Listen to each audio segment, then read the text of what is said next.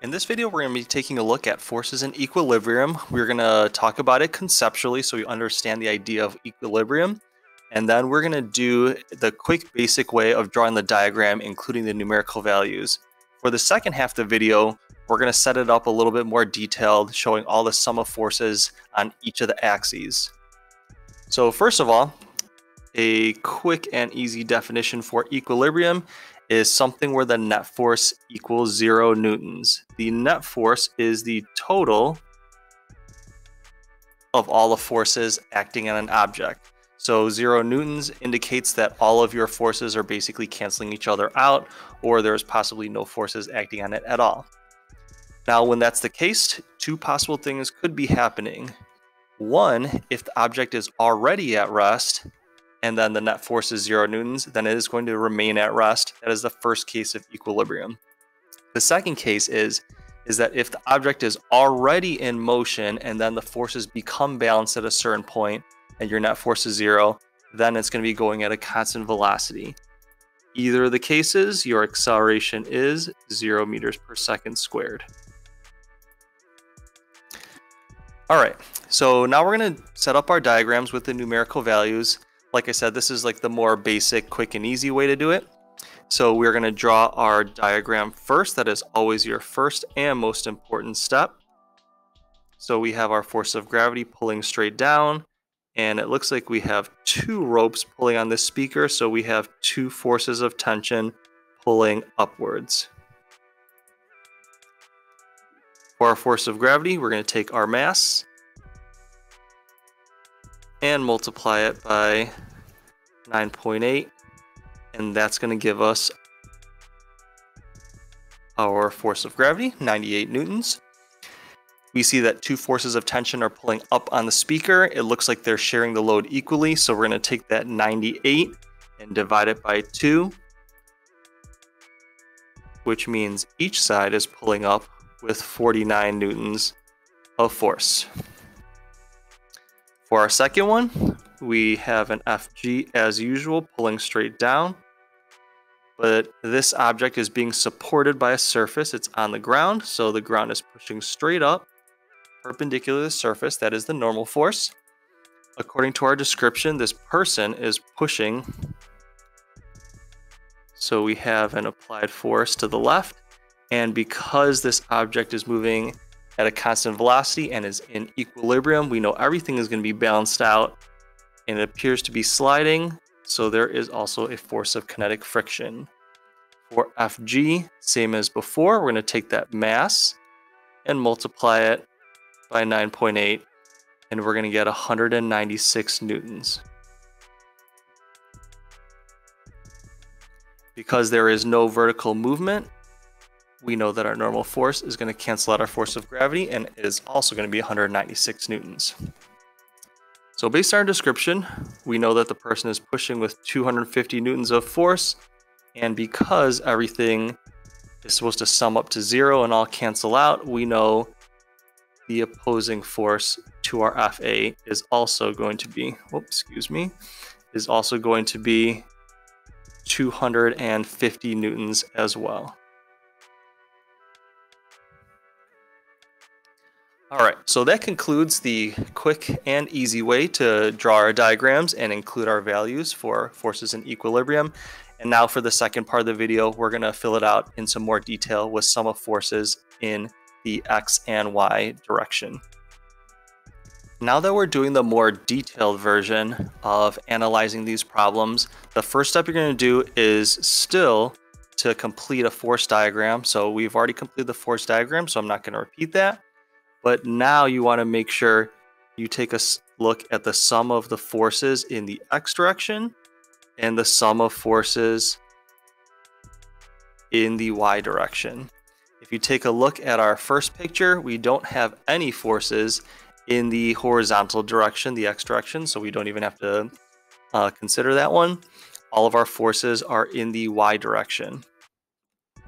So what I'm going to do is make sure I'm clear about which, which direction is positive and negative. It's pretty common that up would be positive and down would be negative.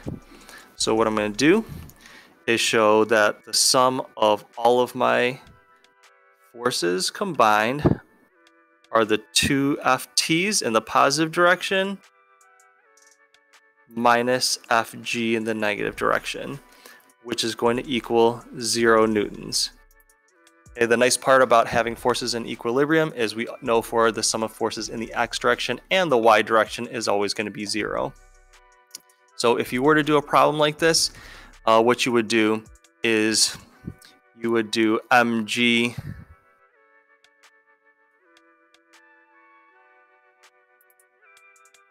for your force of gravity.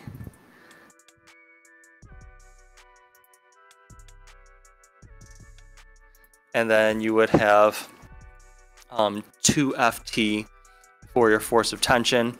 And for this type of problem, more likely than not, you'd probably have to solve for the force of tension. So all you would do is you would plug in the mass, you would plug in G 9.8,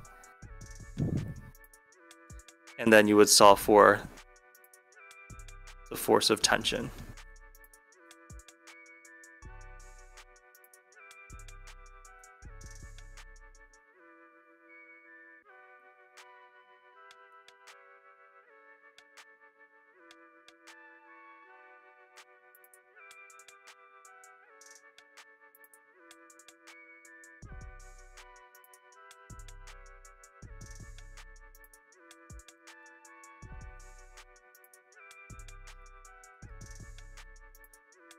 All right, now on to our second problem, which is going to be a little bit more complicated.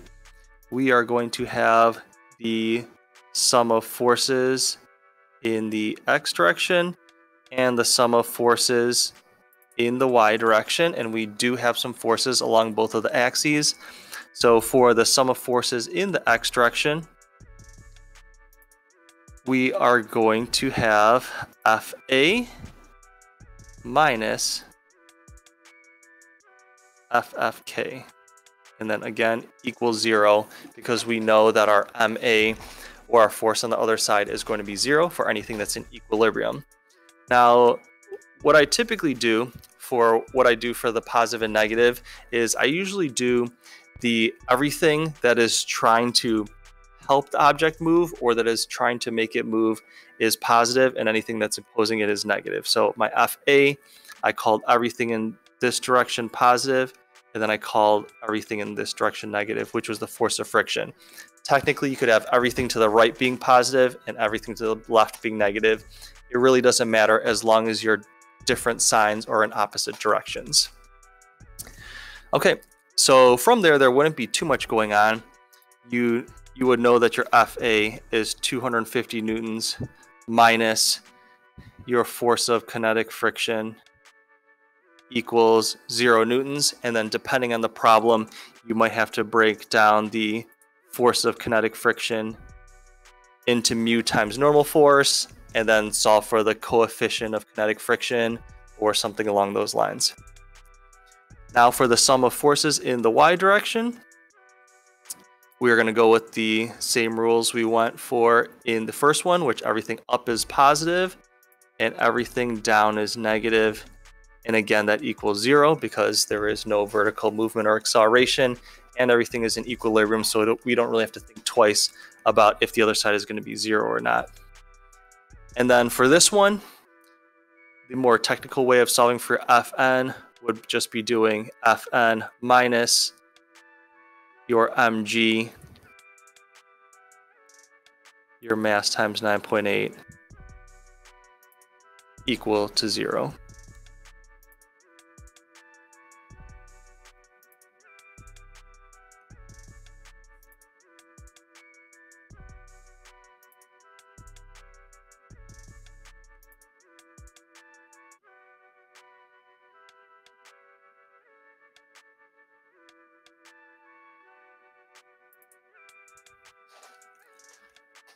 All right, so that concludes the video on how to set up forces in equilibrium with the concept, doing the more basic, quick and easy way, and then also the more detailed technical version of setting it up with sum of forces in the X and Y direction. Thank you for watching and listening.